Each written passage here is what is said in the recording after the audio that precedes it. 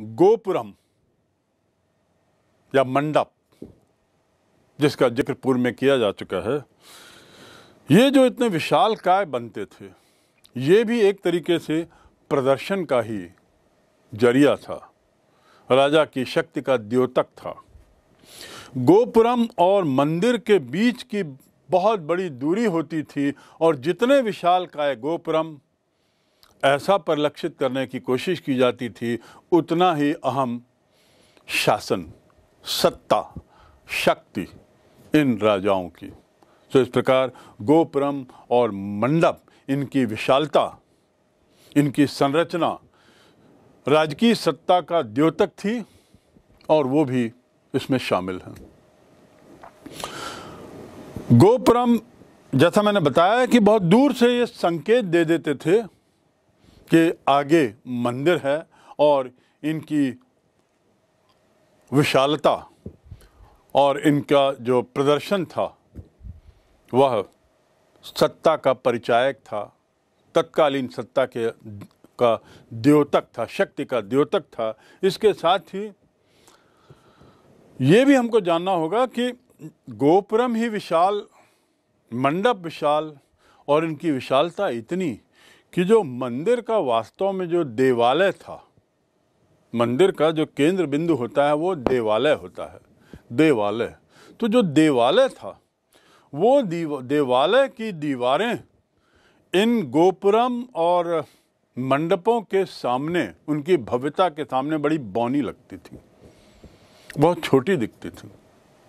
तो हम समझ सकते हैं, आप समझ सकते हैं कि किस प्रकार तत्कालीन राजाओं ने, विजयनगर के शासकों ने धर्म और धर्म से जुड़े हुए मंदिर का उपयोग अपनी सत्ता के प्रदर्शन के लिए किया, अपना वर्चस्व दिखाने के लिए किया और अपना वर्चस्व बढ़ाने के लिए भी किया। धर्म भी एक ज़रिया था अपने शासन को मज़बूत बनाने का, उसकी मजबूती को सुनिश्चित करने का। ये मात्र केवल स्थापत्य कला के उदाहरण नहीं थे। मंदिर बनाकर ये राजा केवल सौंदर्य का प्रदर्शन नहीं करना चाहते थे। सौंदर्य तो एक निश्चित रूप से एक बिंदु रहा ही होगा, लेकिन इसकी विशालता, इसका इसका जो इसका जो आकार है, इसकी जो संरचना है, वह इस रूप में की गई हैं जिससे ये साफ़ प्रदर्शित होता है कि तत्कालीन राजाओं ने धर्म का उपयोग और मंदिरों का उपयोग अपनी ताकत, अपनी शक्ति के प्रदर्शन में किया होगा।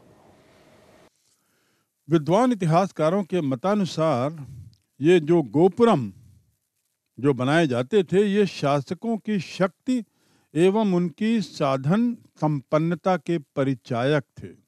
विशाल गोपुरम, यानी विशाल साम्राज्य की अनुभूति।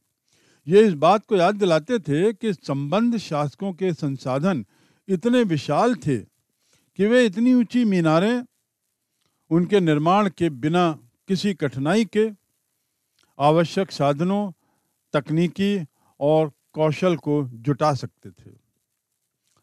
मंडप तथा लंबे स्तंभों वाले गलियारे, जिन्हें प्रायः मंदिर परिसर में स्थित देवस्थलों के चारों ओर बनाया जाता था। मंदिर स्थापना के अन्य विशिष्ट अभिलक्षण थे।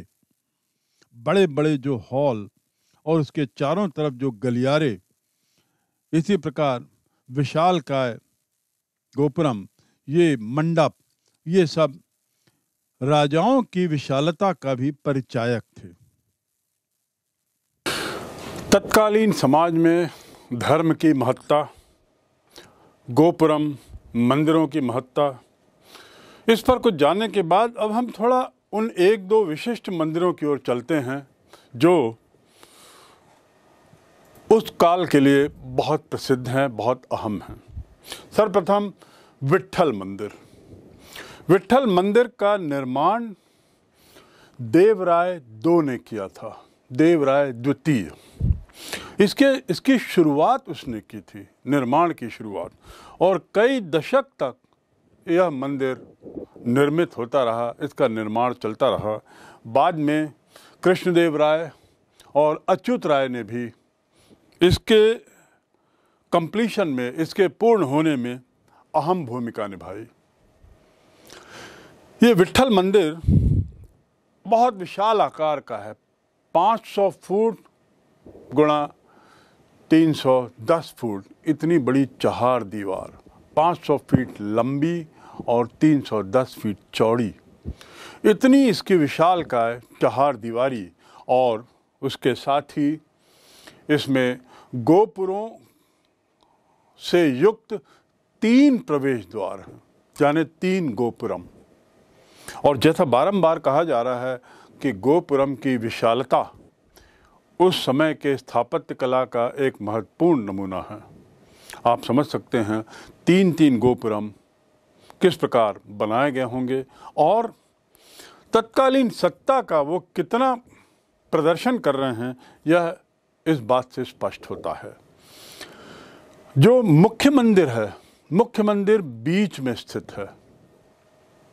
तीन भाग हैं, बीच में स्थित है और जो मुख्य मंदिर जो बीच में है, वह विठल रूपी विष्णु भगवान का मंदिर है।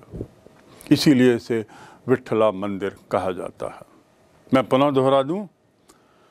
मंदिर स्वयं जो मुख्य है, वह बीच में स्थित है और विठल रूपी विष्णु भगवान का मंदिर है। इसके भी तीन भाग हैं, तीन गोपुरम और तीन भाग। यदि तीन भागों की बात करें तो पहला भाग है जो सामने की ओर है और सामने की ओर होने के कारण इसे महामंडप कहते हैं, जो एक विशाल हॉल है। बहुत बड़ा खुला हॉल और स्तंभ के साथ खंभों की मजबूती से खड़ा हुआ, खंभों के मदद से खड़ा हुआ। सो इस प्रकार पहला है महामंडप। उसके बाद दूसरा है मध्य में बंद हॉल। बंद हॉल से तात्पर्य यह है कि जो पहला हॉल था, वह स्तंभों से था, घिरा हुआ। दूसरा हॉल दीवार से घिरा हुआ है और मध्य में है और इसलिए इसको अर्ध मंडप कहते हैं। ये दक्षिण भारत के मंदिरों की विशेषता थी कि गोपुरम होते थे, महामंडप होते थे अर्ध मंडप होते थे, फिर देवालय होता था। इसके पीछे ही अर्ध मंडप के पीछे गर्भगृह। गर्भगृह वह स्थल जहाँ पर भगवान की मूर्ति को रखा जाता था।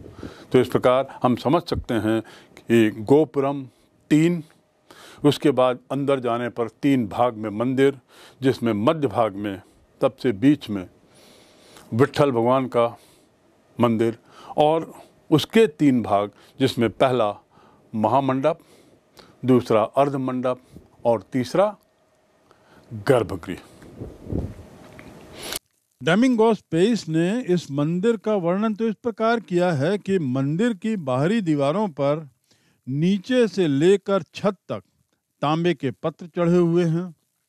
छत के ऊपर बड़े बड़े जानवरों की मूर्तियाँ बनी हुई हैं और जब मंदिर के अंदर प्रवेश करते हैं तो उसके अंदर स्तंभों पर तेल से जलने वाले दिए रख दिए गए हैं। ये रखे हुए वहाँ दिखते हैं। और ये दिए 2500 से 3000 तक हैं जो रात्रि को जलाए जाते हैं। इतनी भारी संख्या में इन दियों को जलाया जाता था। मंदिर के बाहर एक आँगन में सूर्य देवता के लिए ग्रेनाइट पत्थर से निर्मित रथ बने हुए हैं और इन पत्थर के रथों के पहिए आज भी घुमाए जा सकते हैं, ऐसा डोमिंगोस पेस ने अपने वृत्तांत में लिखा है। दूसरा मंदिर जो अपनी स्थापत्य कला के लिए प्रसिद्ध है, वह है वीरूपाक्ष मंदिर, जिसका ज़िक्र पूर्व में भी किया जा चुका है। वीरूपाक्ष मंदिर का जो निर्माण था, वह कई शताब्दियों तक चलते रहा। बहुत लंबे काल तक इसका निर्माण होता रहा वीरूपाक्ष मंदिर का। और जो अभिलेख मिले हैं साक्ष्य के रूप में जिनका हम उपयोग कर सकते हैं इसके निर्माण के बारे में जानने के लिए तो ऐसा मालूम होता है कि नौवीं, दसवीं शताब्दी से ही इसका निर्माण प्रारंभ हो चुका था। नौवीं, दसवीं सदी से इसका प्रारंभ, निर्माण प्रारंभ हो चुका था और जब विजयनगर साम्राज्य स्थापित हुआ, यानी जब इस वंश के लोग सत्ता पे आए तब उन्होंने इसके निर्माण को जारी रखा। इसमें उनकी संरचनाओं में, बाद में इसमें कई चीज़ें और जोड़ी, इसका वार्धक्य किया और इनकी संरचनाओं को और बढ़ा दिया, विशाल कर दिया और सबको एक दूसरे से जोड़ दिया। कृष्णदेव राय, जो विजयनगर साम्राज्य का सबसे महत्वपूर्ण शासक माना जाता है, उसने अपने राज्याभिषेक के समय इस मंदिर के, मुख्य मंदिर के सामने एक भव्य मंडप का निर्माण कराया। राज्याभिषेक के समय कृष्णदेव राय ने, जो सबसे मुख्य मंदिर है, उसके सामने एक बहुत भव्य मंडप बनवाया और जो अत्याधिक सुंदर है और चित्रों से उकेरा गया है। यानी इसीलिए वो स्थापत्य कला का एक नमूना माना जाता है, बहुत सुसज्जित है। पूर्वी गोपुरम का निर्माण भी ऐसा माना जाता है, कृष्णदेव राय ने ही किया था। यानी इस मंदिर के भी एक से ज़्यादा प्रवेश द्वार हैं, गोपुरम हैं। और जैसा पूर्व में बताया गया, फिर बताया जाता है कि गोपुरम और मंदिर के बीच बहुत दूरी थी और ये दूरी गोपुरम से यह स्पष्ट हो जाता था कि अंदर मंदिर है। इन परिधनों से केंद्रीय दिवाले को संपूर्ण परिसर को मतलब ये जो जो संपूर्ण परिसर जो बनाए गए, कृष्णदेव राय ने बनाए, या उसके पूर्व भी जो बनाए, कृष्णदेव राय ने जो भव्य मंडप बनाया, ये सबने,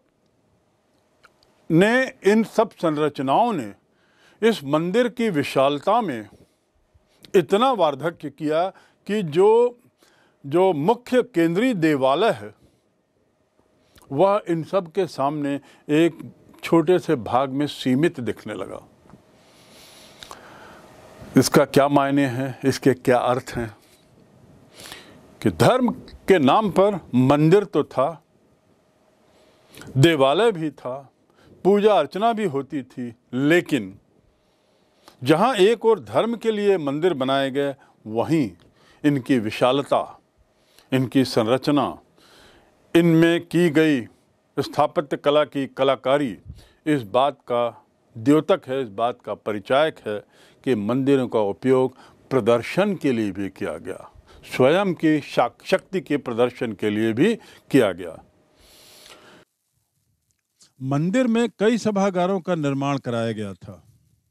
सभागारों का उपयोग कई तरह के काम के लिए किया जाता रहा होगा, जैसे कुछ सभागारों में संगीत, नृत्य नाटकों के विशेष कार्यक्रम को देखने के लिए देवताओं की मूर्तियों को रख दिया जाता था। कुछ अन्य सभागारों में देवी देवताओं के विवाह समारोहों का आयोजन किया जाता था। ये जानने की बात है, लेखनीय है कि इन अवसरों पर विशेष प्रकार की मूर्तियों का उपयोग किया जाता था। ये मूर्तियाँ छोटे केंद्रीय देवालयों में स्थापित जो मूर्तियाँ थी, उनसे भिन्न होती थीं। देवी देवताओं के विवाह की मूर्तियाँ देवालयों में स्थापित मूर्तियों से अलग ही होती थीं। ये तो हुई बात वीरपक्ष मंदिर की।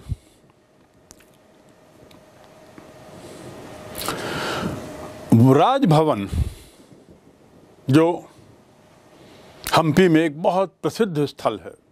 जो हम्पी की स्थापत्य कला का सबसे बेजोड़ नमूना है। उसको तो जो, उसमें जो दरबार हॉल बना है, उसमें जो सिंहासन मंच बना हुआ है, वह अत्यंत विशाल और इसका ज़िक्र पुर्तगाल से आए हुए यात्रियों ने अपने विवरणों में, यात्रा विवरणों में बारंबार किया है।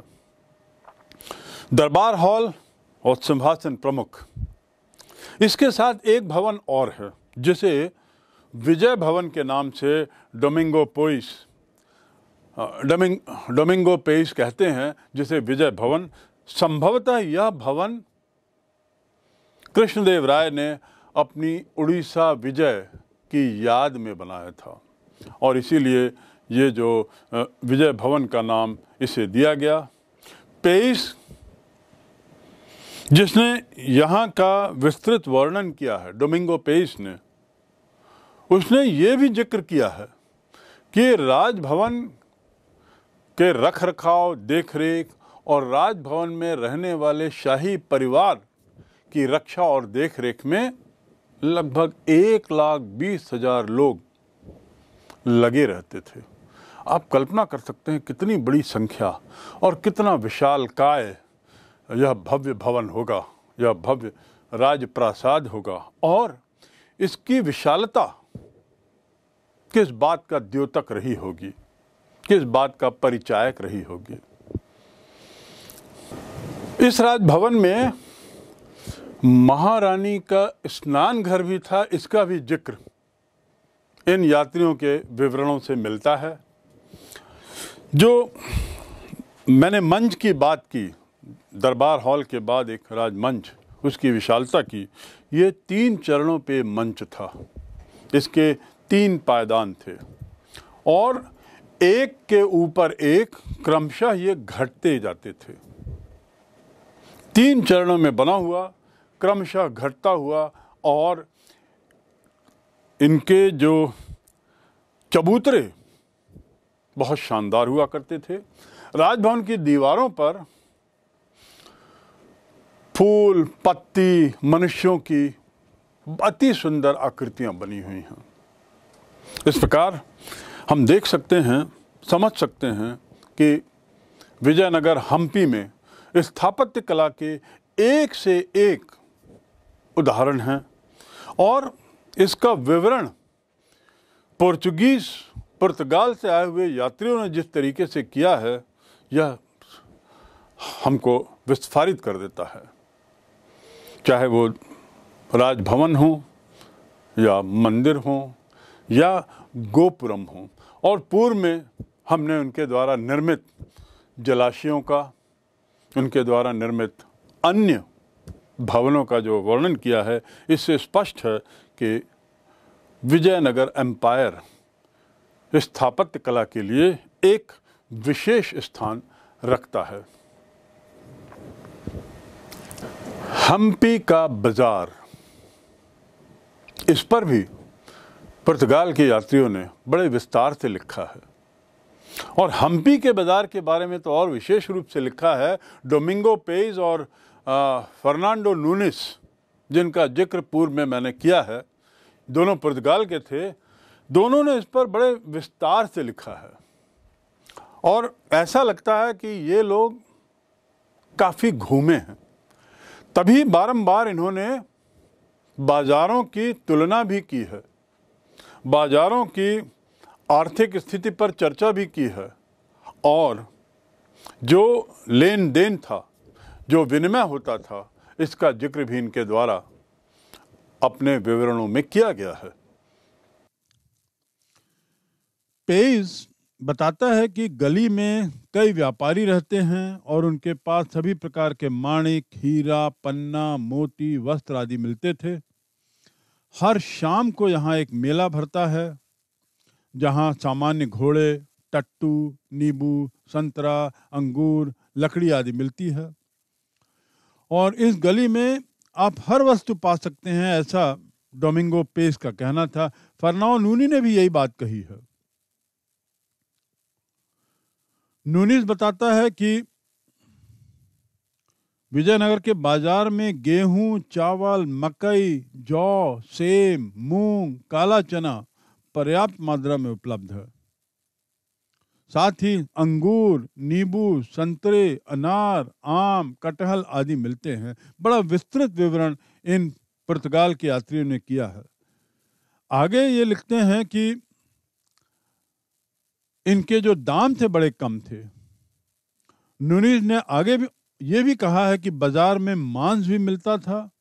भेड़, बकरी का मांस, सुअर, मृग, तीतर, खरगोश, कबूतर, बटेर व सभी प्रकार के पक्षी, चूहे, बिल्ली एवं चिड़िया विजयनगर के बाज़ार में मिलती थी। इन्होंने बताया है कि यहाँ लोग सुंदर कपड़े पहनते थे और आकर्षक आभूषणों से लदे रहते थे। स्त्रियाँ इतने भारी एवं अधिक आभूषण पहनती थी कि कई बार तो नुनीस ने ऐसा लिखा है कि मानो अपना वे स्वयं नहीं, वज़न नहीं उठा पाती थी। तो इस प्रकार नुनीस का और पेश का जो विवरण है, यह मात्र विस्तृत ही नहीं है, बल्कि रोचक भी है। अभी तक हमने बात की मंदिर, इसके बाद मंदिर महल, अन्य निर्माण और बाजारों। प्रश्न ये उठता है कि आखिर इनको अंकित कैसे किया गया है? कैसे जाना गया है कि हम्पी में ये क्षेत्र मंदिर थे, ये क्षेत्र बाज़ार थे, ये क्षेत्र महल थे? यानी इनका आइडेंटिफिकेशन कैसे किया गया? ये एक सवाल, कतूहलवश हमारे आपके मन में उठता है। यहाँ ये बताना ज़रूरी होगा कि विजयनगर के बारे में एकत्रित जानकारी, उनका जो संग्रहण हुआ, जितनी भी जानकारी मिली है, मूल रूप से फोटोग्राफ्स उसके बाद नक्शे, अन्य संरचनाएँ और उपलब्ध मूर्तियाँ। यहाँ से हमको इनके बारे में जानकारी मिलती है और इनसे मिलने वाली जानकारियों का विश्लेषण किया गया है। आपको याद होगा, पूर्व में हमने बताया था कि जब ये सवाल उठा कि इन्हें कैसे खोजा गया तो इसका यह उत्तर है कि पूर्व में जिस व्यक्ति के बारे में मैंने ज़िक्र किया था, मिस्टर मैकेंजी मैकेंजी के द्वारा आरंभिक सर्वेक्षण किया गया। वो सर्वेक्षण के आधार पर उसके बाद जो यात्रा वृत्तांत मिले, पुर्तगाल के यात्रियों के, उसके बाद कुछ अभिलेख मिले तो मैकेंजी, उसके बाद यात्रा वृत्तांत, उसके बाद अभिलेख। इन तीनों को एक दूसरे से जोड़ा गया। इन तीनों में दिए गए या समझे गए बिंदुओं को समावेशित ही नहीं किया गया। तार्क तार्किक तरीके से इनमें संबंध जोड़ा गया, संबंध पाया गया और इन संबंधों के आधार पर फिर आगे विश्लेषण और ज़्यादा जारी हुआ। बीसवीं सदी में